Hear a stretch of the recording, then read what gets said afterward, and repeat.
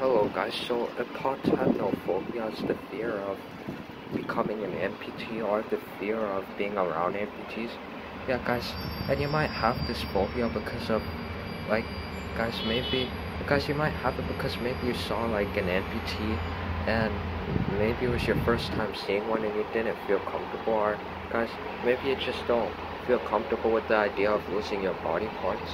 Yeah, yeah guys, I actually have this phobia like like guys